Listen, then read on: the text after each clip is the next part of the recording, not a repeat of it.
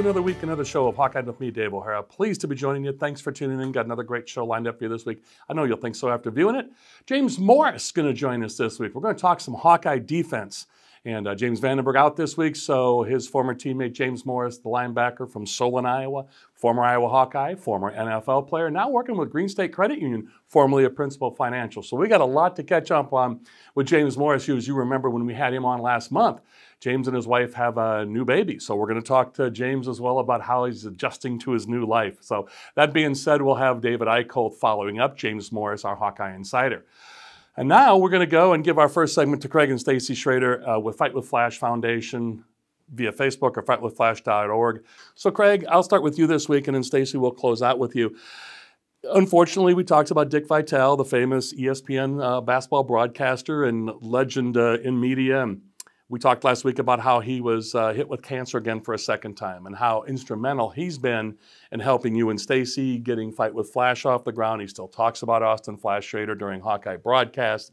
Uh, you know, Fran and Margaret McCaffrey introduced you into that world, and we're going to have the McCaffreys on at some point upcoming this season. But you know, I asked you and Stacy off camera, and I'll bring it on camera. It's unfortunate, or why does it take someone famous to get this before people start saying, "Oh my goodness, this really happens." You know, my mom had cancer. Unfortunately, your son passed away because of cancer.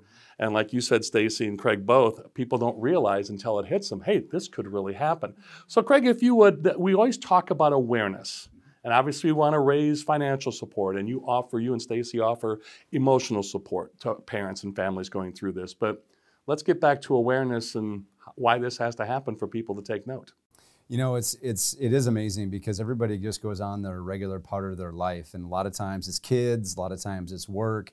Um, there's so many obviously distractions that go on, and and you know we all want to plan everything out, right? And so when something when something difficult, adversity hits us, and it, it, doesn't matter if it's cancer or something else, you know, and an injury, an illness of something, um, or of a family member, it causes us to stop and pause. And uh, um, I will just say that uh, that most people have little bumps in the road and they quickly get back on with their normal life. Um, but when it comes to something like this, and especially when it comes to somebody like you know Dick Vitale, that is so well known, and then people really really stop and question, well, why him? And uh, and, and, and obviously everybody is, is praying for Dick, and uh, um, he is amazing. You know, we had uh, texted him last week while we were, um, you know, in Colorado, and uh, you know, we knew exactly he's going to be fighting this how he is fighting this. He's going to be open. Mm-hmm. He is going to be honest. He is still going to be doing his like daily motivations for people. He's asking people for two things, and he is asking number one, he wants prayers. Um, he's going through this and he wants prayers for himself, but his family. But also, what he's asking for is, is if anybody else can donate to his mission and donate to the V Foundation, and he wants it to go to pediatric cancer and he does not want it to go to his age group or anything else, no money. He just wants to be able to continue his drive and his passion to make a difference in the pediatric cancer fight. So. Well stated, Craig, and he has been all over social media and media and publicizing this. And as the three of us agreed last week and the week before, cancer picked the wrong dude to mess with because he is, yeah, like you said, he's out front with it, and that's that's fantastic for such a horrible thing. Thank you for that, Craig and Stacy. So let's talk about some upcoming things. Let's bring it back local again with Fight with Flash. What do we got happening? Much going on as always. Um, well, we're going, going to do a, um, a push day, basically a push month, um, November 22nd through December 22nd. Um, it's going to it's a fund the need, and what it is, we want to try to push it out there to people to uh, raise some funds for their Fight with Flash Foundation, so we can give cash and gift cards to the children and families at the hospital Great. who will have to be there over That's the holidays. So. Fantastic. And was and there then, something else? I thought you had one then, other thing. Yes, we have one other thing. Um, in December, December 10th, we will be do, holding our Fight with Flash garage sale that we do every year and get rid of all the remaining stuff in the, um, are just our little leftovers, right. um, which are wonderful. And um, yeah, so we have that, and that's such a big, so so many people can get their last minute Christmas gifts, things like that. So we've got wonderful stuff: sweatshirts, t-shirts, long sleeves, short sleeves, jewelry. We Your jewelry, his zip up. I've said it once, I've said it a hundred times, and I'll continue to say it hundreds hats. more. Yeah, Go to yeah. Fight with Flash Foundation via Facebook, or again, Fight with Flash DaveO'HaraSports.org, uh, DaveO'HaraSports.com. We have all the links there for you. Again, please stay tuned. After the show, go over to DaveO'HaraSports.com and watch the complete and full length uh, web exclusive video with Craig and Stacy Schroeder and me and Fight with Flash Foundation. So, Craig, Stacy, we'll talk to you on the website side, and thank you so much. Yes, Thanks, thanks, Dave. Dave. Truly my pleasure. You're welcome, and thank you. So, for Craig and Stacy Schroeder, we'll be back with in one moment with James Morris, former Hawkeye linebacker. Back with more Hawkeyed with me, Dave O'Hara, in just a few moments. In farming, everybody knows relationships drive the industry. And with Merschman Seeds, you've got a friend in the field. Hi, this is Joe Merschman. We're the friend that delivers with extraordinary speed. We're the friend that shares knowledge and innovation. We're the friend that cares about your yields and profits. And we just happen to have the most advanced seed technology in the industry. When you choose the best seed, you also get the best people. Merschman Seeds, your friend in the field. Hi, I'm Joel from Tice Chevrolet. We've lived through some very interesting times the last few months. Ensuring everyone's safety is more important than ever. That is why we are participating in the Chevy Clean program.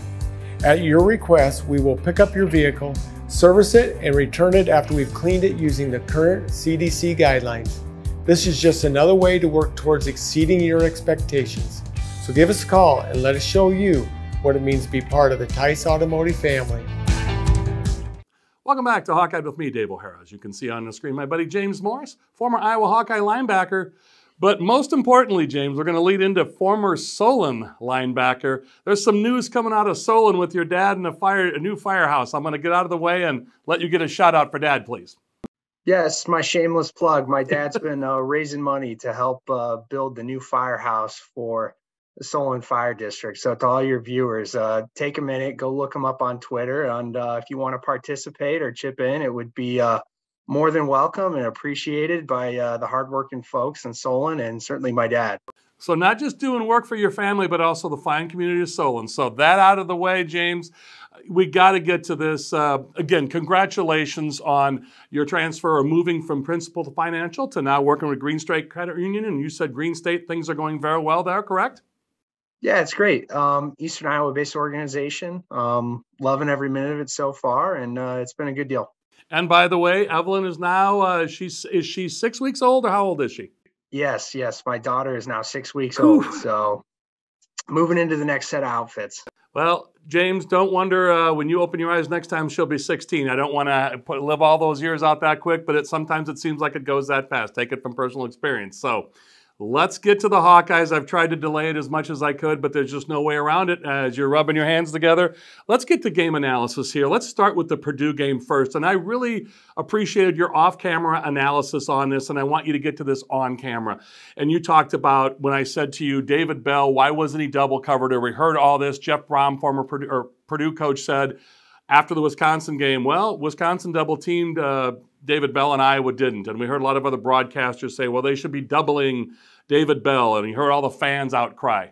Give us your explanation as to they kind of did double David Bell. Yeah, that was kind of what I was seeing. I wasn't obviously in the meeting rooms and I don't know what the play calls were, but Iowa doesn't play a ton of man relative to some of the other teams in the league.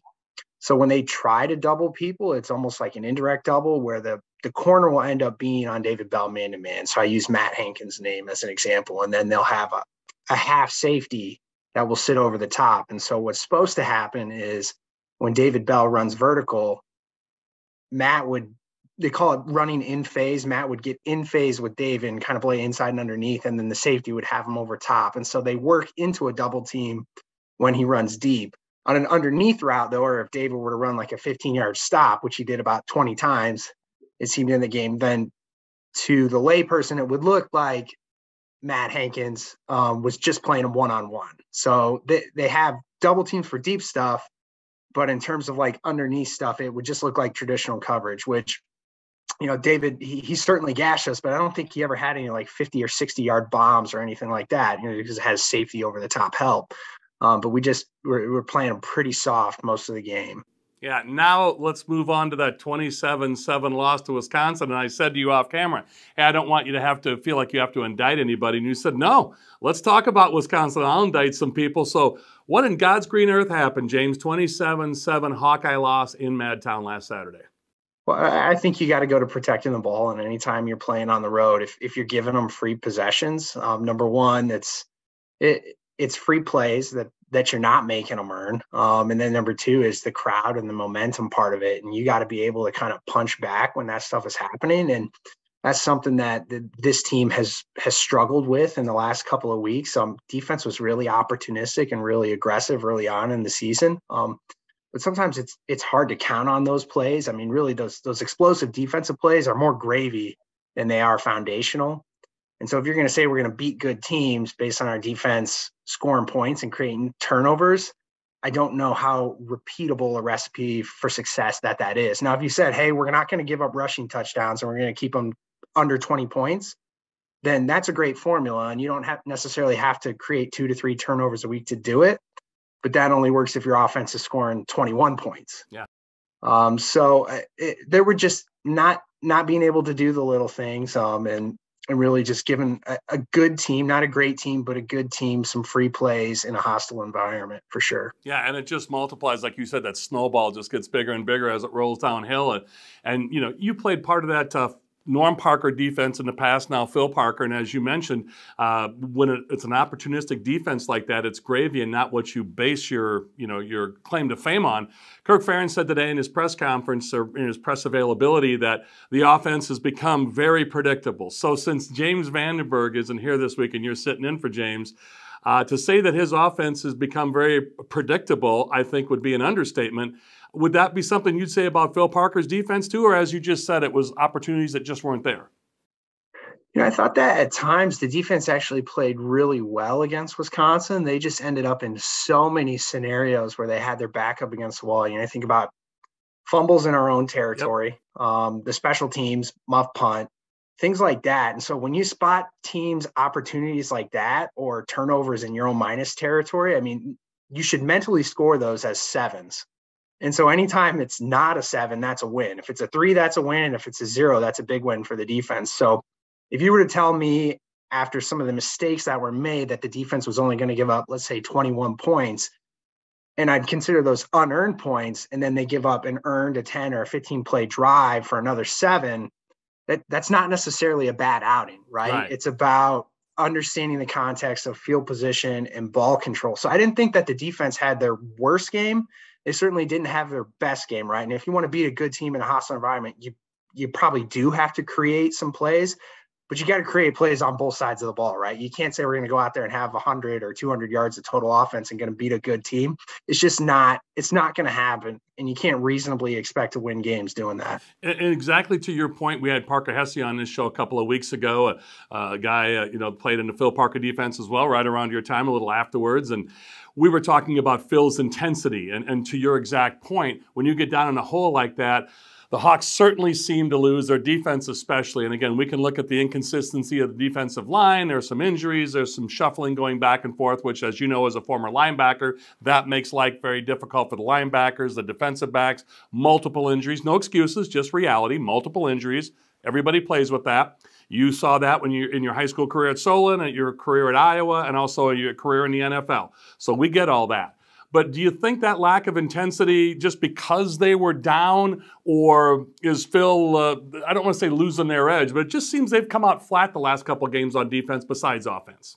No, you're 100% right. And I don't think anyone's being an armchair quarterback if they were to say, if they play the rest of the way like they played the last 2 mm-hmm. games, they could very easily lose every game the rest of the year. I mean, I think that that's a fair statement. I think the coaches have to know that. The players better know that.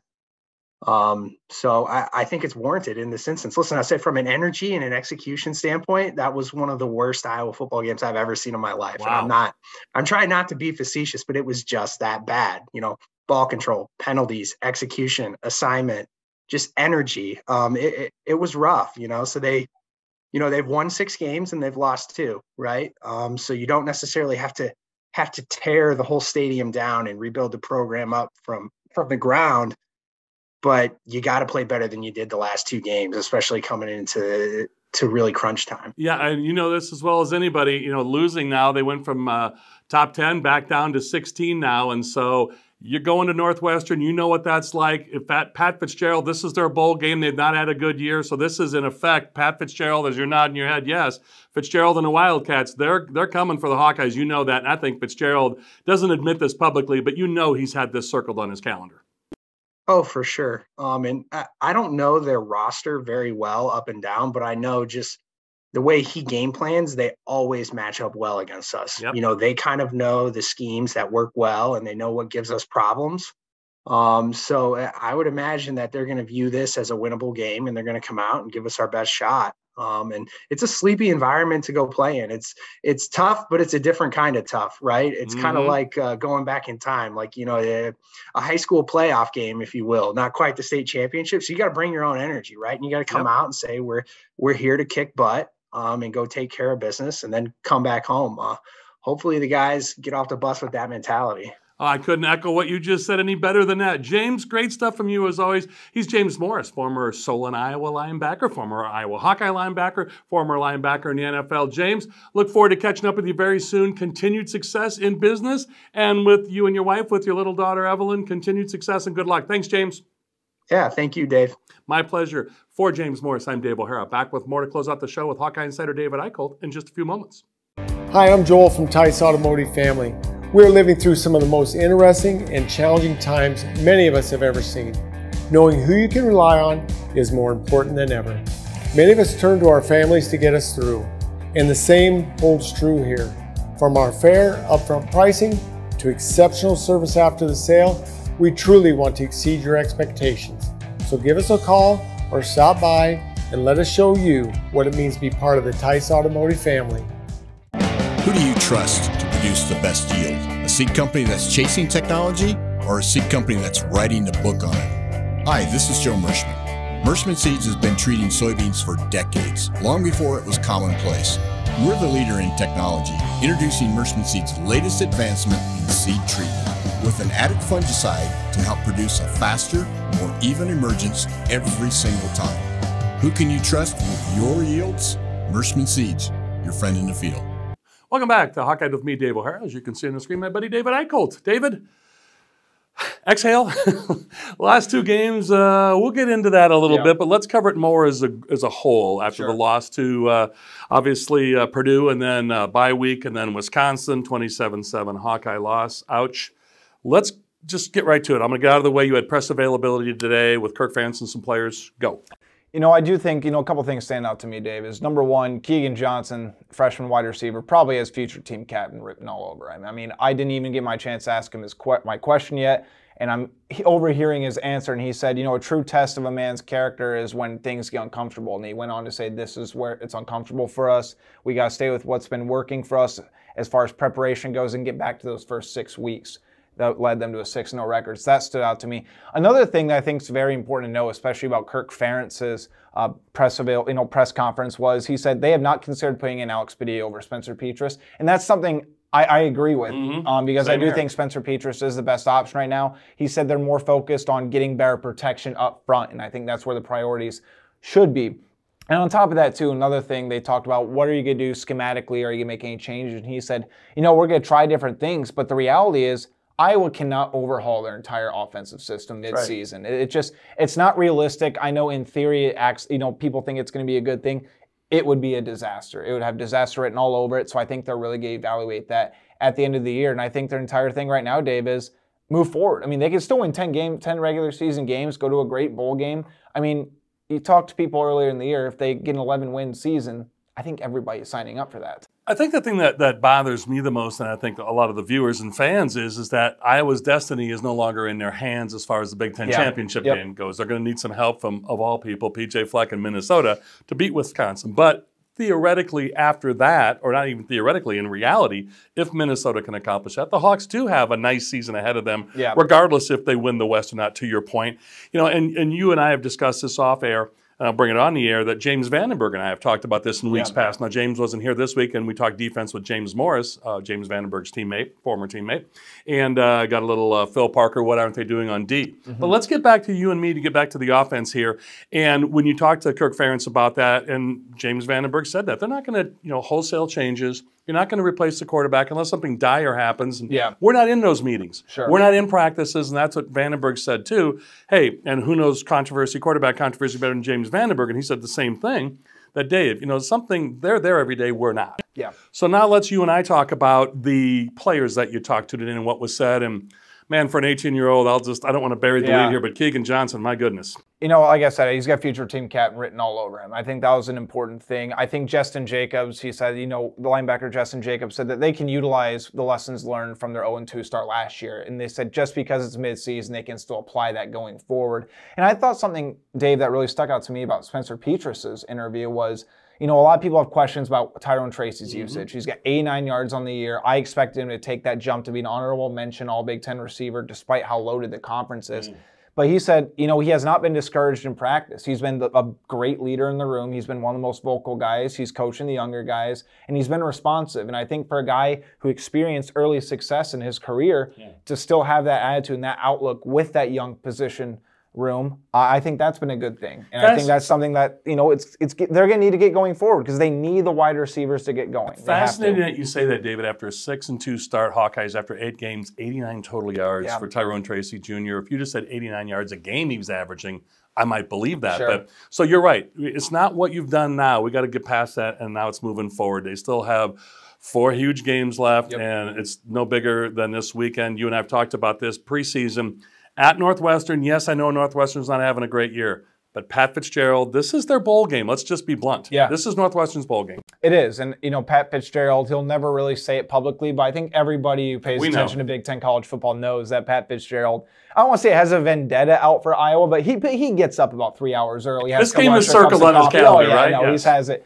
every single year. But you're exactly right. I think this is the ultimate gut check game. If Iowa cannot go into Evanston and take care of business, I'm feeling pretty nervous about the final three games. Yeah. Because look, I don't care if Nebraska is going to finish four and eight on the year, three and nine. They're still dangerous, especially with Adrian Martinez That's at right. quarterback. Illinois is beating Penn State. They can't throw the football whatsoever, and Art Sitkowski's out for the year. They can't throw it. But Chase Brown's a good running back, and Bret Bielema is definitely going to be motivated as well. And Minnesota, do you really need to say much more besides who hates Iowa? Yeah. You know, and we want Minnesota to beat Wisconsin, but yet lay down for Iowa. So yeah, it's not good. you can't have the best of all worlds. But so, David, you wrote a great piece I want to highlight in the last couple minutes here. Again, uh, HawkeyeInsider.com.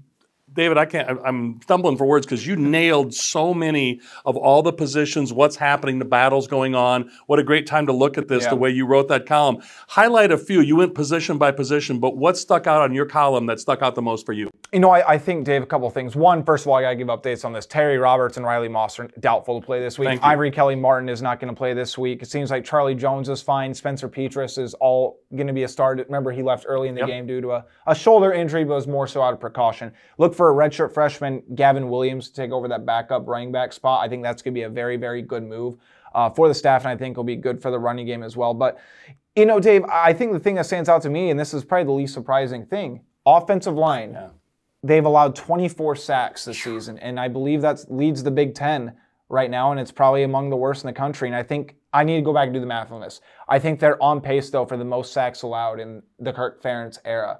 So again, when you look at the line, you look at how things have developed, Dave. There are there are plays where Tyler Linderbaum is the only one holding his block. So I don't think this goes on George Barnett. I don't think it goes on Kirk Ferentz. We asked him about it today, and he said, you know, I think it's more so youth and injuries more than anything else. Because I've told you this, I think Iowa's offensive line recruiting has been phenomenal. George Barnett knows what he's doing. I think he fits in with the culture well. It's just a matter of getting those valuable in-game reps and finding a way to speed up that development, which they do need to have. Yeah, and as we talked with James Morris about in a segment before this, you know, the defensive line consistency or inconsistency, Yep. which makes life horribly difficult for the linebackers and defensive backs. You mentioned the injuries in the defensive backfield. One good note: Jack Campbell is now a semifinalist for the Butkus Dick Butkus uh, Linebacker of the Year award. So some positive coming out of that, but it's got to get they got to get it done on the field, David, offense Yeah. and defense. Yeah, no doubt. And I think again, you know, Wisconsin only threw 42 passes over the last three games Yeah. heading Iowa. I thought it was a great move by Paul Chryst saying, "Hey, look, Iowa can't get uh, pass pressure, it can't get you know get pass rush on us, so we're going to throw the ball on them." And I think you know Graham Mertz did a great job of targeting Jermari Harris on that. it's worked out well for them when you know the scouting has seen that against Iowa worked out well for Wisconsin, but yeah, 27-7 loss. Things have got to get better. We'll talk Yeah. next week and see how it goes at Northwestern, Dave. Hey, thanks, Dave. Thank Appreciate you. it. You're very welcome, and thank you. He's David Eickholt, HawkeyeInsider.com. I'm Dave O'Hara with Hawkeye, back with more next week. Got a lot of big guests upcoming. There's going to be a McCaffrey sighting on this show soon, so at some point we're going to have Fran, Margaret, also Connor, and Patrick talking about their association with the Fight with Flash Foundation as well. So, all that being said, many big shows coming up, and thanks as always for tuning in. For David Eickholt, James Morris, Craig and Stacy Schroeder, and to you, the viewers, I'm Dave O'Hara with Hawkeye. That's all for me. Thanks to all of you. As always, thanks for staying tuned in over these rolling credits at the end of the show to give our uh, advertisers and sponsors the credit and attention they so richly deserve. Without them, we don't have a program. So thanks again to them, the aforementioned guests, and to you, the viewers. I'm Dave O'Hara. That's all for me with Hawkeye. Thanks to all of you.